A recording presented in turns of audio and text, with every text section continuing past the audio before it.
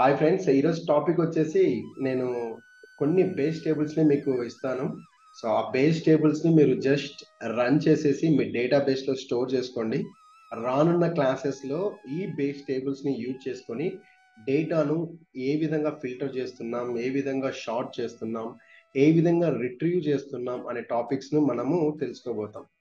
So వాటికంటే ముందు please subscribe నా subscribe my channel so Pandit Ajesh అండి ఇది నా ఛానల్. సబ్స్క్రైబ్ క్లిక్ చేసుకోండి. అలాగే గంట సింబల్ని కూడా ప్రెస్ చేయండి. సో ఇప్పుడు మీరు చూస్తున్న ఈ వీడియోలో sim sample base tables for practice in Oracle database డిస్క్రిప్షన్లోకి వెళ్తే డిస్క్రిప్షన్లో సోర్స్ ఫైల్ అని ఉంటుంది. సో ఈ సోర్స్ ఫైల్ మీద క్లిక్ చేయండి.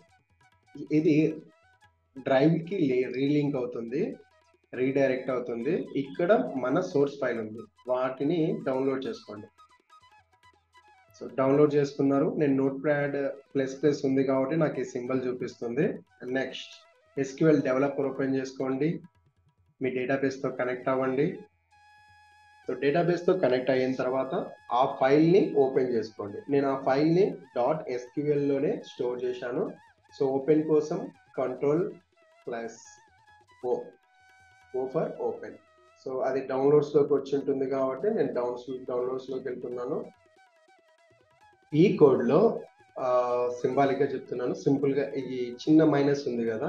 సో ఎక్కడైనా సరే ఈ టోటల్ క్వైరీలో ఏ ప్లేస్లో అయినా సరే కర్సర్ పాయింట్ని పెట్టేసి కంట్రోల్ ఎంటర్ ప్రెస్ చేస్తే అది ఎగ్జిక్యూట్ అయిపోతుంది. సింబాలిక్గా చెప్తున్నాను. ఇక్కడ మైనస్ ఉన్న ప్లేస్లో అలాగా కర్సర్ క్లిక్ చేసేసి ఆ కంట్రోల్ ఎంటర్ ప్రెస్ చేయగానే మీకు ఈ డిఈపిటి టేబుల్ అనేది క్రియేట్ అయిపోతుంది.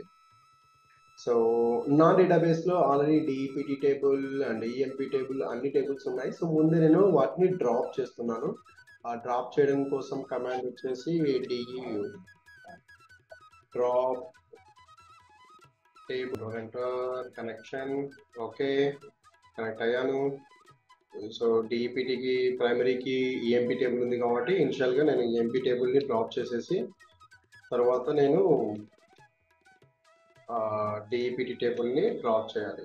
Okay so customers table drop and orders drop so ఈ నాలుగుది నేను డ్రాప్ చేశాను.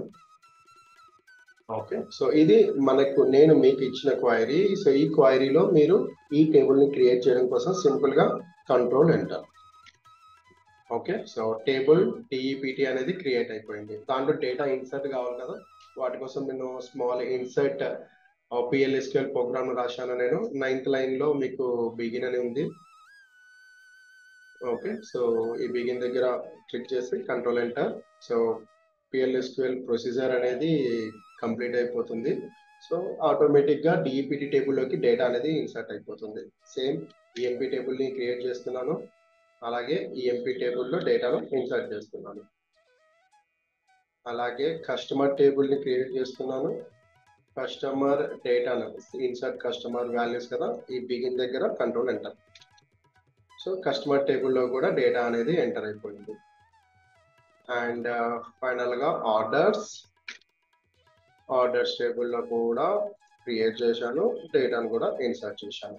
సో నా నా దగ్గర నాలుగు టేబుల్స్ ఉన్నాయి. ఫైనల్గా కమిట్ సో డేటాబేస్లో మన మోడిఫికేషన్స్ అన్నీ సేవ్ చేయడం కోసము కమిట్ చేశాను. ఇప్పుడు మీరు చెక్ చేస్తే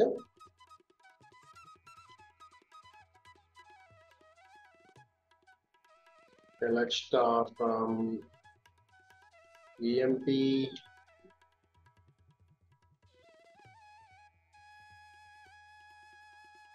డిఈపిటికి అండ్ కస్టమర్స్ ఆర్డర్స్ అన్ని మనం చూద్దాం. DEPT table orders table and spelling mistake లేకోకుండా నేను కస్టమర్స్ అనే వర్డ్ని కాపీ చేసి పేస్ట్ చేస్తున్నాను. Okay so select star from EMP అంటే మనకు అన్ని ఆ టేబుల్లో ఉన్న అన్ని కాలమ్స్ డిస్ప్లే అయిపోతాయి. చూడండి. సో మనకు కావాల్సిన ఫోర్టీన్ రోస్ వచ్చాయి ఆల్ కాలమ్స్ వచ్చాయి. నేను ఏ విధంగా ఏంటి షార్ట్ కట్స్ అనేది మీకు ప్రీవియస్ వీడియో వీడియోలో చెప్పాను. ఆ వీడియో చెక్ చేయండి. రో కౌంట్ కోసం ఇలాగ రో నెంబర్ ఫోర్టీన్ రోస్ అనేది వచ్చాయి. సో ఈఎంపీ టేబుల్లో మనకు ఫోర్టీన్ రోస్ వచ్చాయి. డిఈపిటి టేబుల్లో మనకు ఫోర్ రోస్ ఉంటుంది. ఆర్డర్స్లో ఆర్డర్స్లో కౌంట్ చేస్తున్నాను. ఆర్డర్స్లో ఫిఫ్టీ రోస్ ఉన్నాయి. అండ్ కస్టమర్స్ ఎంతమంది ఉన్నారు అంటే కస్టమర్స్ మనకు హండ్రెడ్ మెంబర్స్ ఉన్నారు. ఓకే సో ఫస్ట్ మనం డిఈపిడి టేబుల్ గురించి తెలుసుకుందాం. సో డిటిపి డిఈపిడి టేబుల్లో కాలమ్స్ వచ్చేసి department number department name and location ఉన్నాయి. So department number D name for department name and location so ఈ డిపార్ట్మెంట్ నెంబర్ టెన్ అది ఏ లొకేషన్లో ఉంది? ఆ డిపార్ట్మెంట్ నేమ్ ఏంటి? Accounting research sales and operations ఇవి డిఫరెంట్ డిఫరెంట్ లొకేషన్స్లో ఉన్నాయి. సో ఈ డిపార్ట్మెంట్లలో ఎవరెవరు వర్క్ చేస్తున్నారు? ఆ ఎంప్లాయీస్ డీటెయిల్స్ ఏంటి అనేది మనకు ఈ ఎంప్లాయీస్ టేబుల్లో ఉంటుంది. ఈ ఎంప్లాయీస్ టేబుల్లో ఉంటుంది. ఓకే? సో ఈ ఎంప్లాయీ టేబుల్ నేను చూస్తున్నాను. కంట్రోల్ ఎంటర్ సో చూడండి ఇక్కడ నేను దీన్ని షార్టింగ్ ఆర్డర్ పెడుతున్నాను. సారీ